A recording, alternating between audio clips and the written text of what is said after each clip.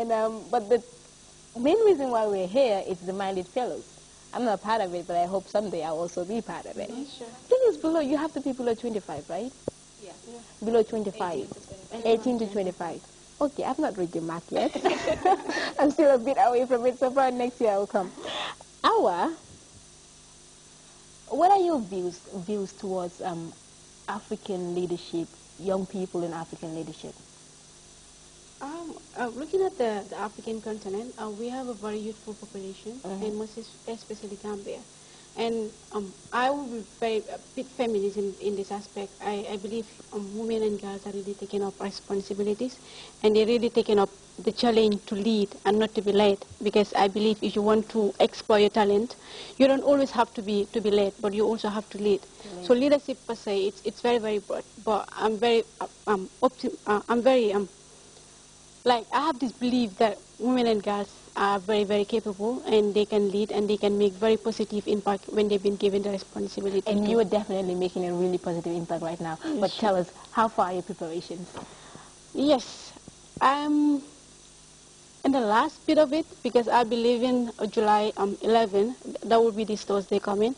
Preparations has really been on a high gear. I was doing online fundraising, th- then offline fundraising as well, where I sent in letters to institutions and American embassy where, where, where the people that really come to my aid and they've donated a lot that really helps in, in my trip. And I've also have other people that donated a lot in my trip, yeah. Okay. Yeah. Several donations made. That's very impressive. Because I was like, okay, there have been so many MILEAD Fellows going on for a while, so we should have a financial backing by now. Mm-hmm. this will be a problem.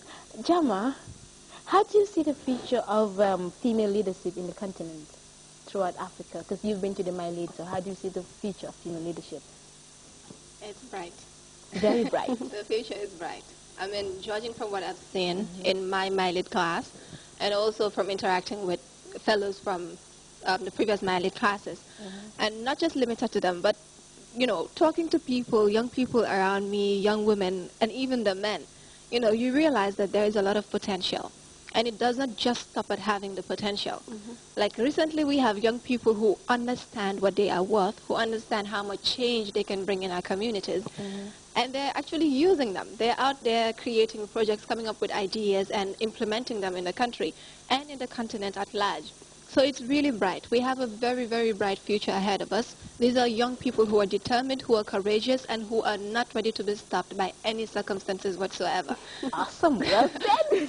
so it's a bright future. These are no longer future leaders. We're already leaders in the making. Okay, no longer future leaders, leaders in the making. Or leaders already today. Uh, Aisha, how would you compare the Gambia to other African countries when it comes to leadership, regard female empowerment and leadership? Well, I think um, they're quite not very much different. They're almost the same. But then I want to say women should, especially in the Gambia here, should try very much harder. I would just be in the opposite, contrary to what Jama said.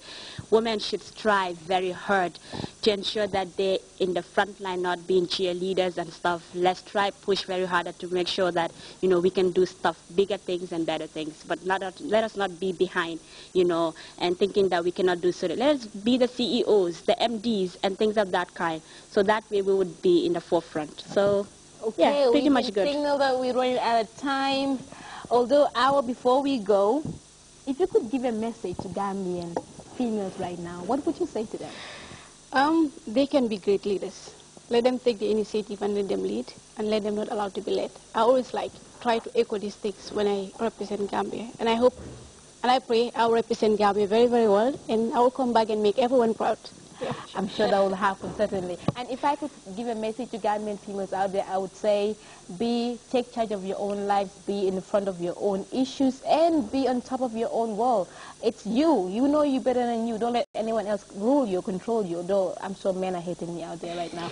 but either way, um, you're watching the Fatu Show, and we've completely run out of time. We're happy to be here. We had the MILEAD Fellows, previous Fellows, and the current Fellow 2013 Fellow going, which is Awan Jai. We wish her all the best of luck in her trip. Make us proud and come back and hail the Gambia's flag. I mean, you have a huge body on your shoulders right now. Like, I don't want to be you. So, till we come your way next week, it's a wrap from the entire Fatu Show team. Bye-bye.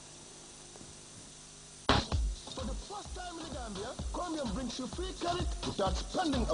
Wow, wow. Call us credit. What's up, girl? Did you hear the latest greatest offer from Comium? Comium? They always come in great ways. Tell me about it. You can receive free credit without spending a butut. Oh, come on now. For real. Every minute of international call you receive, Comium will give you $3 access. Call us Comium. Also, every minute of crossnet call you receive, you will get $1 access. All I have to do is ask all my friends at home and abroad to call me on my Comium line. You know you can use the same credit to call, text, and browse the internet. Ah, wow, wow. Call us Comium, Kate. Call us Comium. Call us Comium. Why? Comium. Comium. We are better together.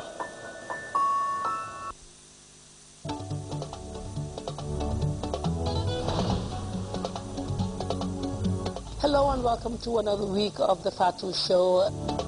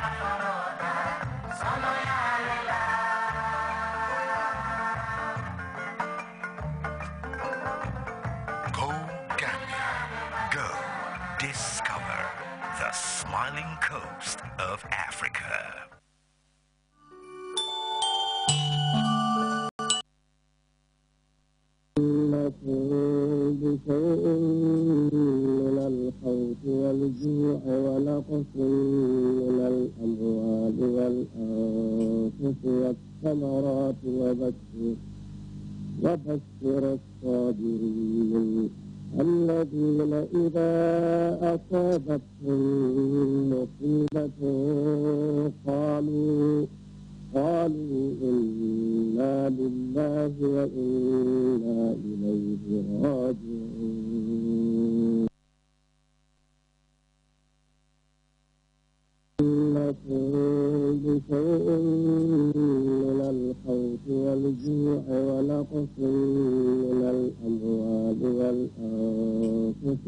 والثمرات وبشر وبشر الصابرين الذين إذا أصابتهم مصيبة قالوا قالوا إنا لله وإنا إليه